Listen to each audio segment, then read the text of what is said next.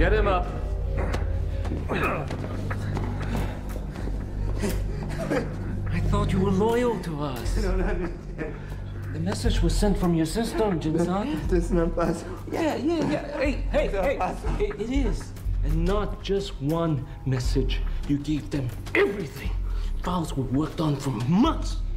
Nobody else had access. We have to do something. Quiet. We can't just let them do this. 你背叛了我，背叛了国家，把秘密卖给美国人，你不觉得害臊吗？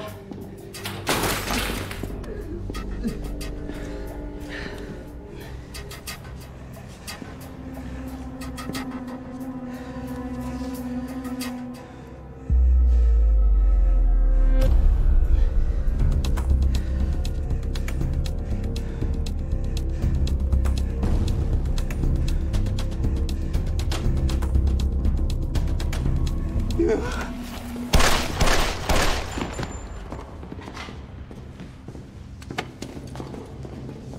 entertaining as all this has been, we really do need to leave now.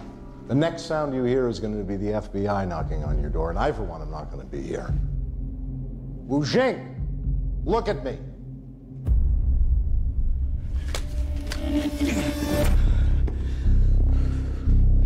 You don't kill one of my people. Now I have to kill one of yours.